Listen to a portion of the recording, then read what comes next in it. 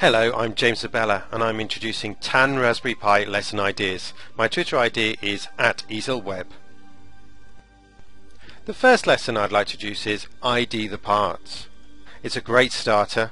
It gives students an understanding of what is inside a computer and they then get to label a picture.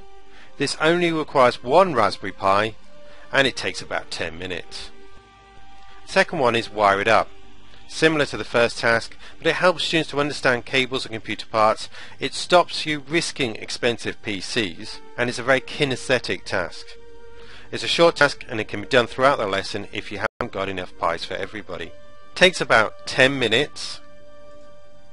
It's a kinesthetic task and ideally you could do with a class set.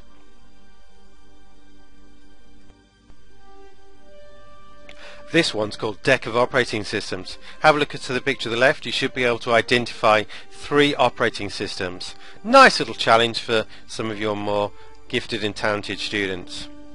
Prepare several SD cards with different flavors of Linux and a couple of other operating systems and then they'll be have the chance to really compare operating systems and see what they do. Show the presentation Encourage students to compare the operating systems based on speed, reliability, ease of use and a few other criteria. The full lesson guide is available at the TES.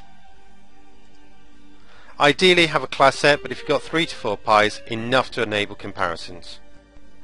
The next one is Scratch Me the Raspberry Pi is great for programming, but if you have a lab set, you don't necessarily need to use the Pi for the programming. What you can do is say you're going to set the Pi as a kiosk, maybe in somewhere like reception, and students are going to program that. Um, Scratch is a great little beginner language and something that works really well on the Pi.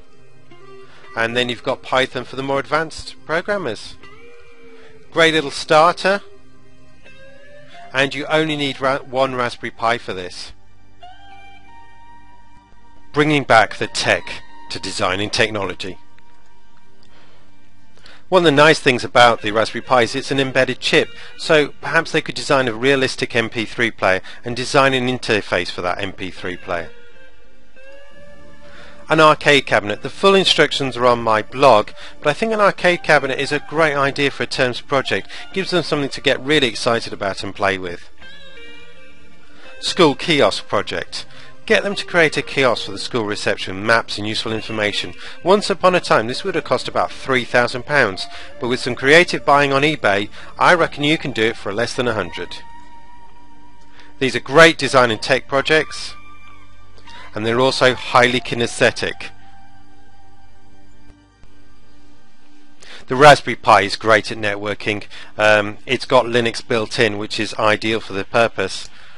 You could save yourself an absolute fortune on the Cisco CCNA course because you don't have to invest in lots of different computers, you just need a Raspberry Pi or three. The other nice thing of course is that this is true of the BTEC courses and, and other networking courses too. It's also great as a movie player. You can set it up as a home media server and it's got full 1080 playback so students can get something that's actually really useful. It's also a very nice web server. I've noticed on Twitter lots of people claiming how long their web servers have survived and also think about the possibility of having webcams around the school and also such things as climate stations. And of course they don't mess with the school's main network so it gives students a really good opportunity to practice without messing things up. 10 ideas, one great Pi.